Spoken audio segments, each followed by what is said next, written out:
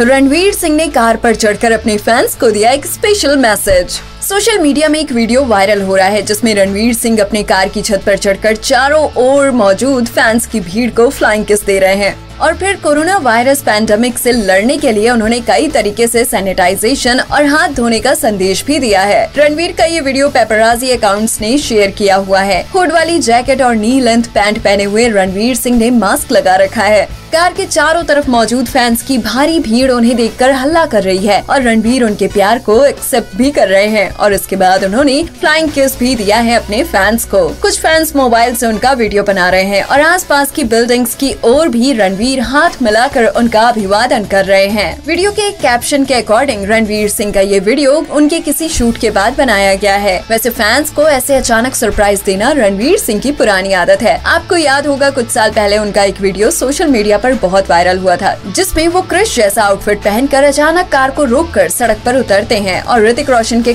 कहोना प्यार है फ़िल्म के गाने पर डांस करने लगते हैं। रणवीर अब नेक्स्ट कबीर खान की फ़िल्म में नज़र आएँगे, जिसका नाम है 83 ये फ़िल्म इंडियन क्रिकेट टीम की पहली वर्ल्ड कप विक्ट्री पर बेस्ड है। इस फ़िल्म में रणवीर सिंह फॉर्मर कैप्टन कपिल देव का रोल निभा रहे हैं। वही उनकी वाइफ दीपिका पादुकोण, कपिल की पत्नी रोमा देव के रोल में नज़र आएँगी।